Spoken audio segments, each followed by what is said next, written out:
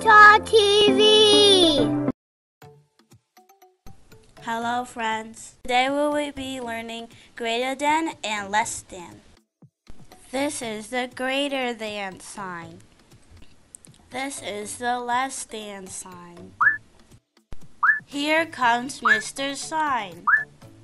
He likes to face bigger numbers. He's going to help us learn today. We have four oranges and one orange. Four is more than one. Therefore, four is greater than one. Mr. Sign is facing the bigger number. Here is another example. We have six fish and three fish.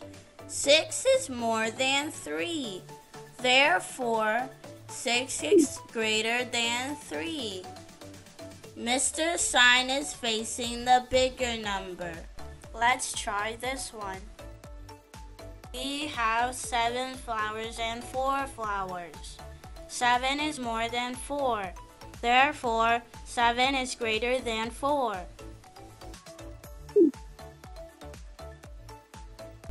Mr. Sign faces the bigger number. Here we have three snowflakes and seven snowflakes. Three is less than seven. Look at where Mr. Sign is facing. You can see Mr. Sign is facing the bigger number. Let's try this one. We have two bows and five bows.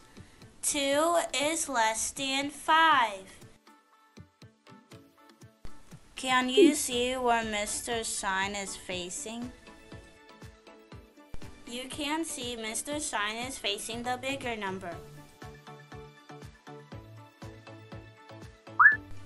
You try this one.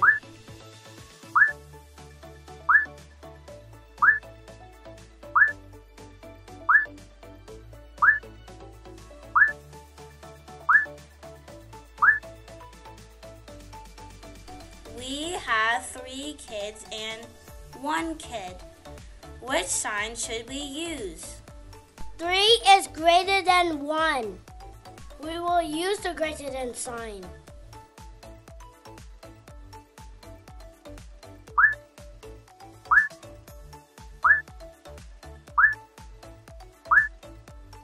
Now we have two kids on both sides. What sign should we use? Two is equal to two.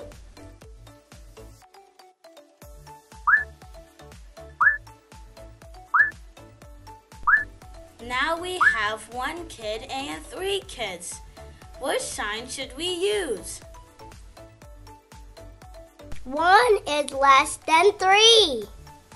We're going to use the less than sign.